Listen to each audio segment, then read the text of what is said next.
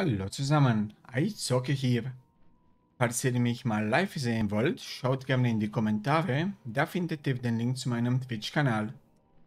In diesem Video zeige ich euch die Quest, ihr werdet einen Greifen brauchen, anzunehmen bei Lord Kommandant David, in der Weißkrone, in dieser Position. Vorquest war Blut im Wasser, ich nehme die Quest auf während des Patches 9.2.5 mit einem Charakter, der viel zu hoch ist für dieses Gebiet. Bin mir aber ziemlich sicher, das Video hilft euch auch in VODLK Classic. Nun darf man sich in dieses Gebiet begeben und darf solche Greifen töten. Da gibt es mehrere davon, da hinten ist auch einer. Da sind auch noch welche. Ähm, ich schnapp mir mal gleich diesen hier. Wie gesagt, ich bin zu hoch für dieses Gebiet. Ich töte die Mobs mit einem Schlag.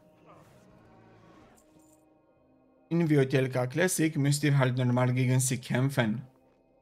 Nun haben wir dieses Item gelootet. Greifenzügel des Ansturms.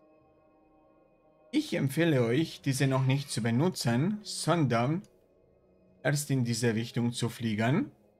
Weil ich glaube, diese Greifenzügel des Sandsturms sind nur mit 150%. Wenn euer Mount, das ihr besitzt, auch noch 150% hat, ist es egal. Solltet ihr aber ein 300% Mount haben, ist es schneller, wenn ihr so bis hierhin fliegt, dann das Item benutzt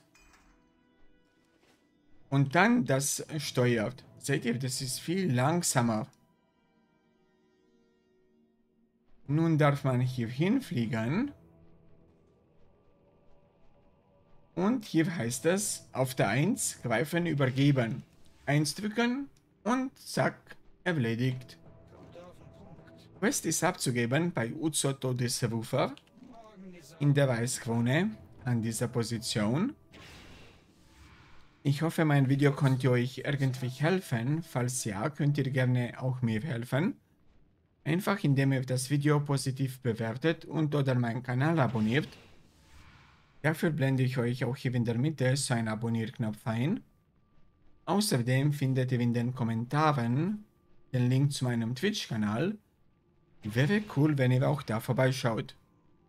Ich wünsche euch noch einen schönen Tag und viel Erfolg. Ciao.